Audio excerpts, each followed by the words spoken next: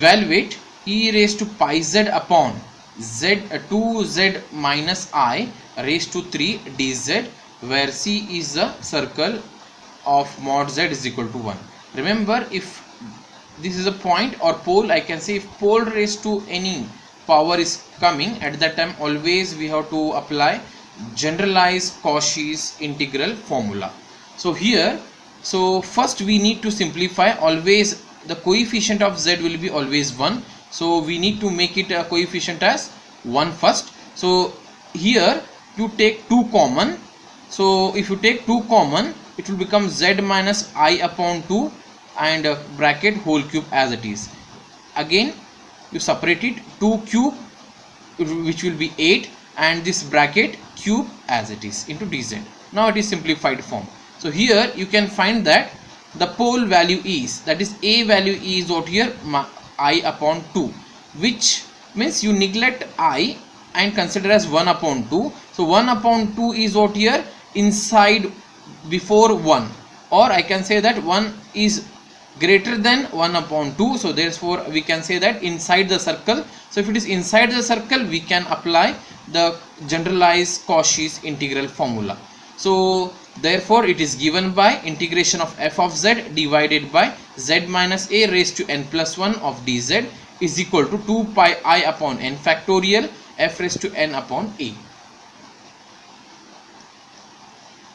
Now on simplification. So before simplifying see that the values of a is 1 upon 2 and n value is 2 because here they have it is raised to 3 means 3 can be written as out here n 2 plus 1 so the value of n will be out here 2 so on simplification so n is 2 means here n uh, two uh, two dashes will come. Two dashes stand for what here double differentiation. So f of z is e raised to pi i that is numerator part of the given uh, question. And uh, if you differentiate e raised to pi z one time it will become pi times e raised to pi z. And if you differentiate this one more time it will become pi square into e raised to pi z.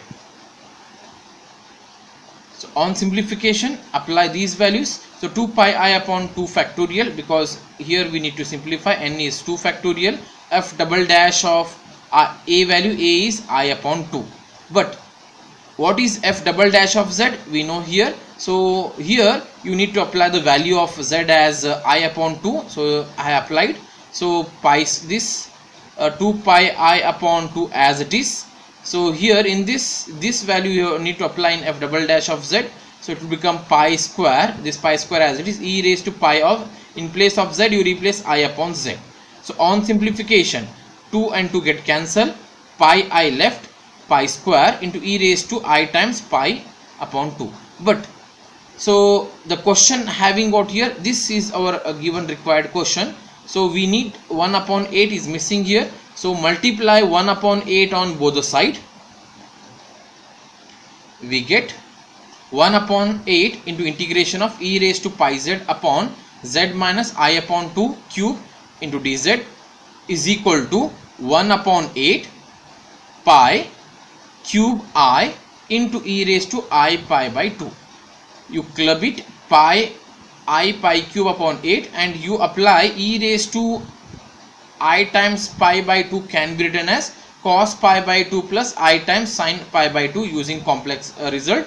So but cos pi by 2 is 0 and sin pi by 2 is 1 so 0 plus i will become i. That this i and this i will become i square.